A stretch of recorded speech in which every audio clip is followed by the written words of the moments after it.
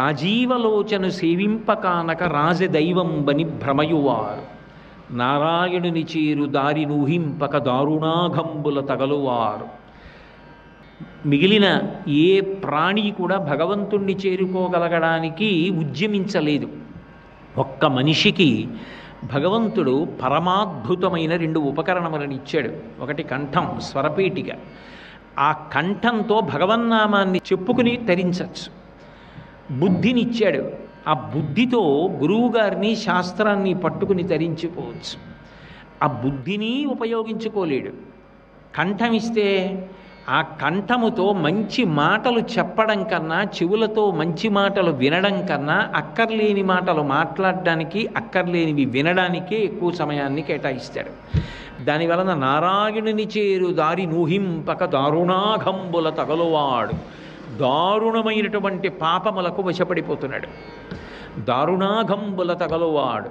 ముక్తి అను పల్కు ఎరుంగక అసలు మోక్షము అన్న మాట గురించి కించిత్ ఆలోచన కూడా చెయ్యకుండా భుక్తి మార్గ సాధనాకైక చిత్తులై ఏమిటో ఇంకా అనుభవించాలి అనుభవించాలి అనుభవించాలి. ఎన్ని సౌకర్యాలు ఎన్ని ఏర్పాట్లు ఎంత దాచుకోవడమో ఏం చేస్తాడు ఇవన్నీ? లోపలికి వెళ్ళిన ఊపిరి బయటికి వెళ్ళకపోయినా బయటికి వెళ్ళిన ఊపిరి లోపలికి వెళ్ళకపోయినా అయిపోయింది అంతే. కింవానేన ధనేన వాజికరిభిప్రాప్తేన రాజ్యేన కిం కింవా పుత్ర కళత్ర మిత్ర పశుభిర్దేహేన కిం. జ్ఞాతైతక్షణభంగురం సపతిరోత్యాద్యం మనో దూరత స్వాత్మార్థం గురువాక్యతో భజ భజ శ్రీ పార్వతీ వల్లభం అంటారు. ఇంత గొప్పగా రక్షించిన ఈ శరీరం కూడా కట్టెల మీద కాలిపోతుంటే జీవుడు నిలబడి చూసుకోవాలి. కల్లరి బొమ్మయవు కాయమ్మునొల్లా అద్దె కొంపలబోలు ఆ లోకమొల్లా కనిపెంచు దొంగలవు తనయులనొల్లా ఇందుకీ భోగంబులిందుకీ మురుపు ముందు చా ఉండంగమురియంగనగుని అంటారు కదా శివమానస పూజలో. అలా ముక్తి అను పల్కు ఎరుంగక భుక్తి మార్గ సాధనాకైక చిత్తులై బాధలొందువారలై ఈ ధరాతలంబున ప్రజలు పతితులౌటకేను చింతింతును అబ్జగర్భ.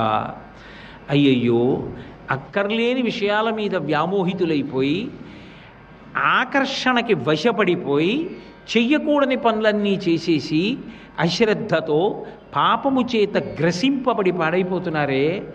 ధర్మం మీద కానీ శాస్త్రం మీద కానీ ప్రమాణం మీద కానీ అసలు దృష్టి నిలబట్టలేదే? ఆ విశ్వాసము ఆ నమ్మకంతో కూడిన ప్రవర్తన కనపట్టలేదు? తండ్రి దీన్ని కాపాడేవాడెవరు? ఎవరు ఉద్ధరిస్తారు? ఎవరు రక్షిస్తారు? అని చెప్పినప్పుడు బ్రహ్మగారు ఊరటతో కూడిన ఒక వాక్యాన్ని పలికాడు. బెంగపెట్టుకోకు ఏ పరమేశ్వరుడు కాలమునందు ఈ యుగాన్ని సృష్టించాడో ఈ యుగానికి కలిపురుషుడు ప్రధానుడైనటువంటి కారణం చేత ఇంత గొప్పగా పాపకర్మాచరణము జరుగుతుందో ఆ పరమేశ్వరుడే మళ్ళీ మనుష్యులను ఆదుకుని పుణ్యమును కట్టపెట్టడానికి తానుగా కదిలి వస్తాడు. అందుకే తనని ఆరాధించే వాళ్ళు ఉన్న చోట ధర్మం నిలబడిన చోట ధర్మమునందు అనురక్తి ఉన్న చోట శాస్త్ర ప్రమాణము ప్రశ్నింపబడని చోట ఆయన చెప్పిన మాట పాటించిన చోట ఆయన వద్దన్నది చేసేవాళ్ళు లేని చోట ఈశ్వరుడు ఓర్పు పట్టవలసిన అవసరం ఉండదు. కానీ కలియుగంలో పరిస్థితులన్నీ దానికి వ్యతిరేకంగా ఉంటాయి.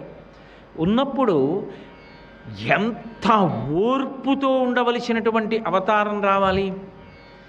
ఇప్పుడు ఓర్పు ఎవరు పట్టారు అంటే భగవంతుడు పట్టాలి. అందుకే మీరు గమనించండి వెంకటేశ్వర అవతారం కదలడానికి మొదటి కారణం ఆయన గుండెల మీద కాలుతో తంతే అవమానాన్ని భరించి కదిలాడు. భృగు మహర్షి దేవతలలో ఎవరు యజ్ఞభోక్తగా ఉండవలసిన వాడో నేను నిర్ణయిస్తానని బయలుదేరి బ్రహ్మలోకం దాటి కైలాసం దాటి వైకుంఠానికి వెళ్ళి రమాపతి లక్ష్మీదేవితో కలిసి ఉన్నటువంటి వేళలో తను సాష్టాంగం చేస్తే తనని చూడలేదని కోపగించి ఆయన వక్షస్థలం మీద తన్నడం ఏమిటి?